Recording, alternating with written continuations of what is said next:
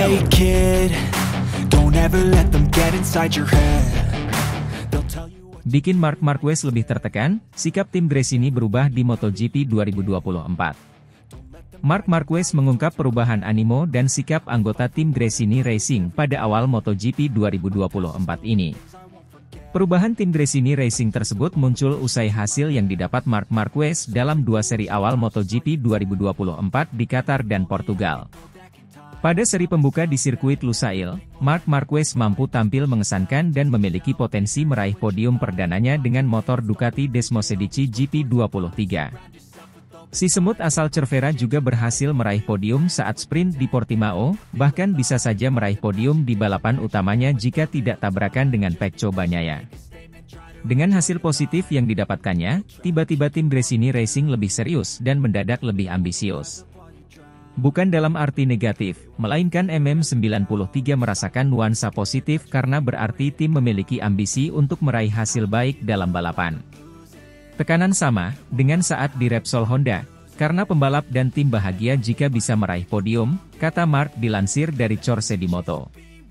Tujuan tim ini adalah meraih podium. Meraih podium lebih baik daripada top 5 dan memenangkan balapan lebih baik daripada meraih podium, ungkapnya. Marquez pun merasa senang karena hal itu sangat positif untuk mendorongnya meraih hasil lebih baik pada setiap serinya. Jadi memiliki atmosfer bagus, melempar beberapa candaan bukan berarti aku tak mendapat tekanan atau tak memiliki ambisi, tegasnya. Marquez pun ingin bisa mengimbangi tim pabrikan, yang memiliki potensi terus meraih hasil baik di setiap balapannya. Ambisinya sama dengan tim pabrikan, karena kami di sini bertarung untuk hasil sebaik mungkin, meski orangnya lebih sedikit dan lebih kekeluargaan, sambungnya. Atmosfer bagus di tim sangat membantuku, tegas pembalap yang masih berambisi meraih gelar dunia kesembilannya tersebut. Bos Gresini Racing, Nadia Padovani berharap Mark Marquez akan bertahan di Gresini Racing.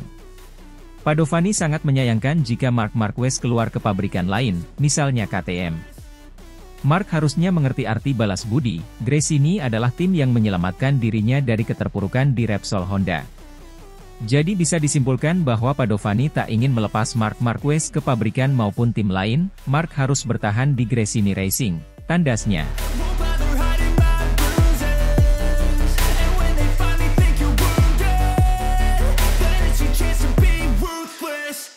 Pembalap Gresini Racing, Mark Marquez, dinilai memiliki peluang besar untuk menorehkan kemenangan pada seri MotoGP Americas 2024.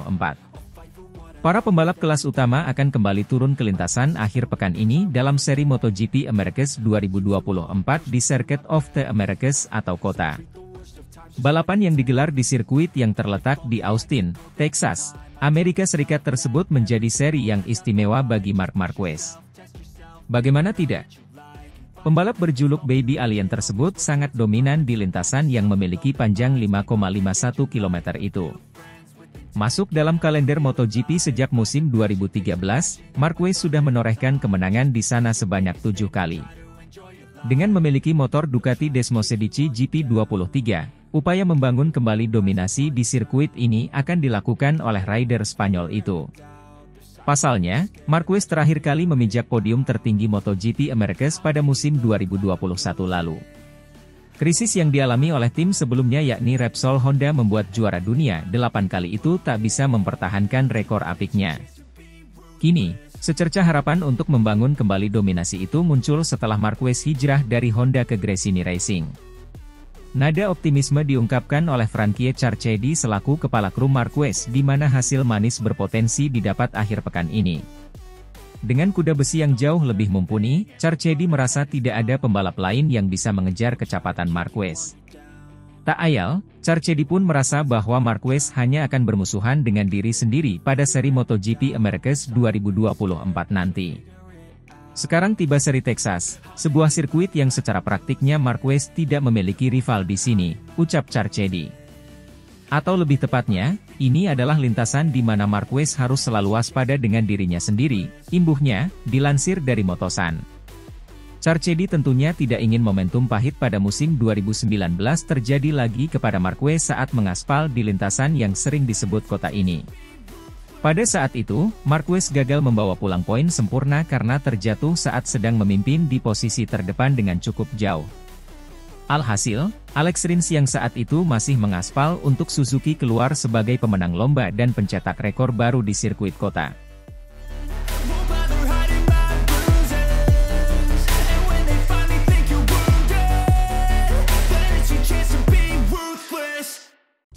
Pembalap anyar Yamaha, Alex Rins tampaknya tak merasa terancam berada satu tim dengan Fabio Quartararo. Alex Rins akan memulai perjalanan barunya bersama Yamaha tahun ini. Pembalap yang memberikan kemenangan tunggal untuk Honda di musim 2023 itu telah menjadi rekan satu tim Fabio Quartararo di musim 2024. Berada di satu tim yang sama dengan Quartararo, Rins rupanya tak terlalu khawatir. Ia justru merasa tertarik berada di satu tim dengan Quartararo. Bahkan ia ingin menjadi rider utama pengganti Quartararo. Rins juga yakin bahwa dirinya dan Quartararo akan menjadi kombinasi yang kuat bagi Yamaha. Itu akan sangat menarik memilikinya di samping saya. Dia, Fabio Quartararo, adalah pembalap yang sangat cepat dan saya yakin bahwa bersama-sama kami akan kuat, tutur Alex Rins. Menurut saya, memiliki seorang pemenang sebagai rekan dan tim yang mendukungmu adalah hal krusial. Lanjutnya, selain memiliki rekan setim yang kuat dan bisa memacu dirinya, Alex Rins juga makin percaya diri menatap musim baru dengan Yamaha setelah membawa ahli telemetri kepercayaannya. Alex Rins diketahui sudah membawa serta ahli telemetri yang sudah mendampinginya sejak di Suzuki ke Yamaha. Saya langsung membawa seseorang yang saya percaya dengan saya. Ini adalah cara saya bisa dengan cepat bertarung untuk posisi teratas, itulah yang saya harapkan, tambahnya. Alex juga menegaskan bahwa memiliki anak tidak akan membuatnya melambat. Sebaliknya ia justru merasa mendapatkan dukungan tambahan untuk fokus dan tampil lebih baik di lintasan balap. Memiliki anak membantu saya, dan itu tidak benar bahwa kamu menjadi lebih lambat, karenanya. Saya beruntung didukung keluarga saya dan ini membuat saya lebih fokus dan tampil lebih baik, tambahnya. Diketahui, race MotoGP kemarin tim Monster Energy Yamaha MotoGP raih poin penuh pada putaran kedua MotoGP Portimao, Portugal. Fabio Quartararo berhasil menembus tujuh besar sedangkan Alex Rins mengamankan posisi ke-13. Namun menurut Alex Rins, Yamaha masih perlu banyak berbenah.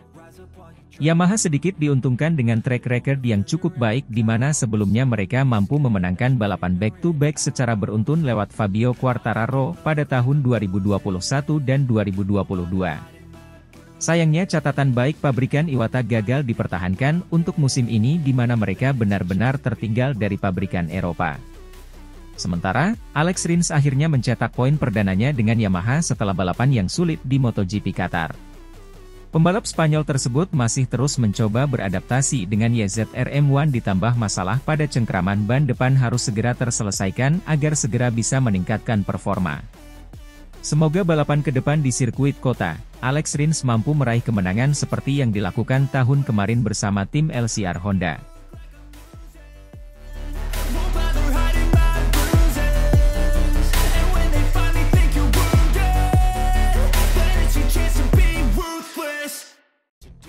Menir tim Yamaha Monster Energy, Massimo Meregali mengatakan Pertamina Enduro VR 46 Racing Team menjadi prioritas utama untuk dijadikan tim satelit. Ia menjelaskan Valentino Rossi menjadi alasan Yamaha untuk menjadikan Pertamina Enduro VR 46 Racing Team sebagai tim satelit.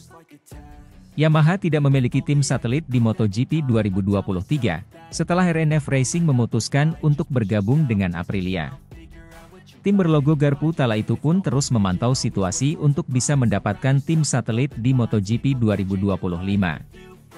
Sementara Pramac Racing, LCR Team dan Pertamina Enduro VR 46 Racing Team akan habis kontraknya bersama Ducati dan Honda pada akhir 2024. Yamaha pun akan bergerak mengamankan salah satu tim tersebut untuk dijadikan tim satelit. Massimo Meregali mengatakan tujuan utama Yamaha adalah untuk mendapatkan tim satelit. Ia menjelaskan tim satelit juga akan berperan dalam pengembangan motor Yamaha YZR-M1. Itu salah satu tujuan kami, memiliki tim satelit, dan pengelolaannya akan berbeda dengan dulu, ketika kami hanya memasok sepeda motor. Ide yang kami miliki saat ini adalah bersinergi langsung dengan tim satelit untuk bekerja sama, kata Massimo Meregali dikutip dari Motosan. Lebih jauh, Massimo Meregali mengatakan Pertamina Enduro VR 46 Racing Team menjadi prioritas utama Yamaha untuk direkrut sebagai tim satelit. Valentino Rossi yang memiliki hubungan dengan Yamaha pun menjadikan alasan pabrikan asal Lesmo, Italia itu untuk menjadi bagian di tim satelit. Pastinya tim pertama yang kami pilih adalah Valentino, dia adalah duta Yamaha dan hubungan kami sudah dikenal, ujarnya. Pertamina Enduro VR 46 Racing Team menjadi salah satu tim satelit yang menonjol di musim lalu. Sebab, Marco Bezzecchi sukses menempati posisi ketiga di klasemen akhir dengan mengumpulkan 329 poin serta mendapatkan tiga kemenangan dan tujuh podium pada debutnya MotoGP 2023. Selain itu, Fabio Di Gianantonio sudah resmi menjadi bagian dari Pertamina Enduro VR 46 Racing Team usai menggantikan posisi Luca Marini yang hengkang ke Repsol Honda. Bersama Gresini Racing di musim lalu, pembalap berusia 25 tahun itu menempati posisi ke-12 dengan 151 poin serta mendapatkan satu kemenangan dan dua podium di musim 2023.